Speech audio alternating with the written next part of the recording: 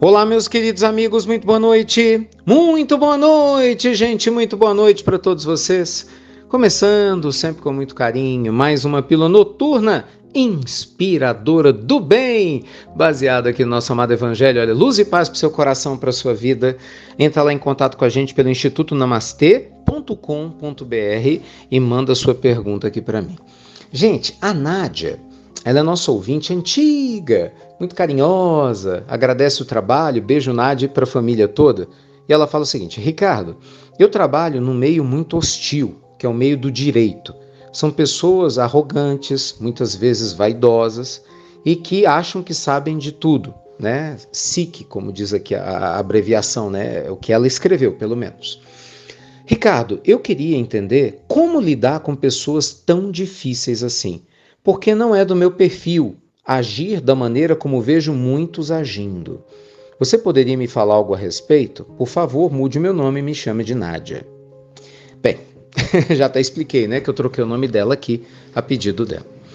Gente, eu acho que a primeira coisa que nós precisamos assim nos posicionar é sobre o seguinte. Eu honestamente não sei, né, do meio que você trabalha, é, não conheço as pessoas, né, Nádia? Com as quais você convive e o tipo de experiência né, que você tem tido com elas. Mas eu acho muito perigoso é, generalizar como você generalizou no seu e-mail. Há muitos profissionais da área do direito que são pessoas corretas, congruentes, muitos profissionais que são extremamente humanos, generosos, né? que procuram literalmente usar do poder da lei humana né, colocando né, o, o, bom senso e, por que não dizer, até procurando um casamento, quando possível, com a lei divina.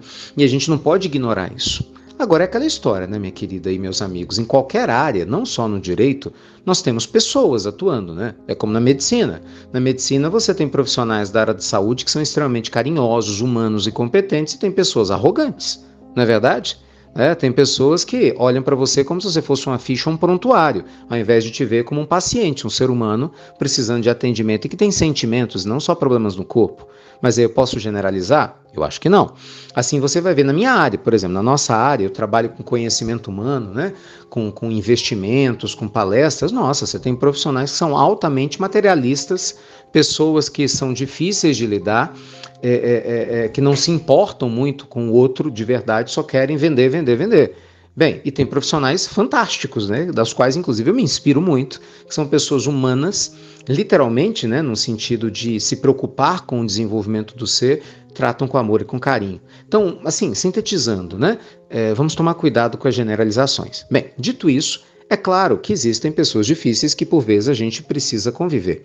E aí eu sempre me pergunto, minha querida, por que será que Deus na sua lei divina, faz com que a gente seja atraído para um lugar como esse? Hum, acho que essa é a pergunta, né? Quando eu convivo com pessoas difíceis, o universo está me dizendo algumas coisas aí. um, ele tá, pode me dizer que eu tô com semelhante, né? Porque semelhante muitas vezes atrai semelhante. Eu posso ser a pessoa difícil, também convivendo com outras difíceis. Então, essa outra pessoa vai ser um espelho, né? Para eu me observar e começar a mudar.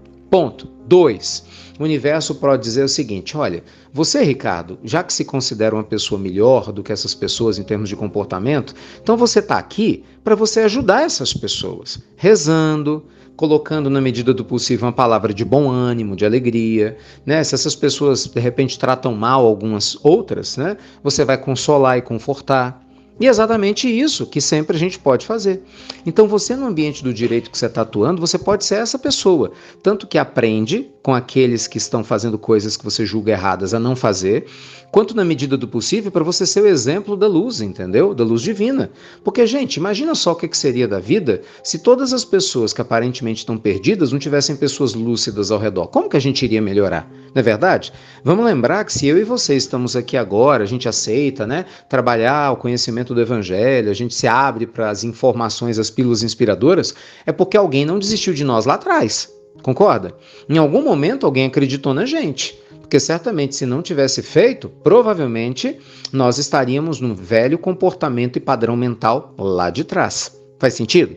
Então, vê com carinho o que você pode fazer de vibrar por essas pessoas, confiando no tempo, que o seu comportamento vai ser luz, sem criar expectativa que elas vão mudar por sua causa ou que elas têm que mudar por sua causa, mas que você pode sim florescer onde Deus te plantou. Se nesse momento você está plantado neste lugar, com certeza tem lições preciosas para você. Você não acha não?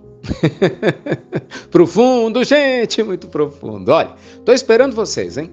Daqui a pouquinho a última aula imperdível da nossa semana da inteligência emocional da vida quântica. A gente vai fazer estudo de casos, casos reais, casos que você vai se identificar, sua família vai se identificar, mesmo que você não tenha assistido aula nenhuma. Hoje é a última aula, sexta-feira, provavelmente a maioria de vocês está em casa. Assista 10 para as 8 da noite, entra na transmissão. Duvido, se você entrar, você não sai. Você vai ver que vai ser uma aula maravilhosa, deliciosa de ser assistida, divertida e ao mesmo tempo muito produtiva em termos de relacionamentos e emoções. Confia, que você vai ver. Tô te esperando mais tarde, tá bom? Fica com Deus. Obrigado a você que compartilha as nossas pílulas inspiradoras do bem e até breve. Até muito, muito breve.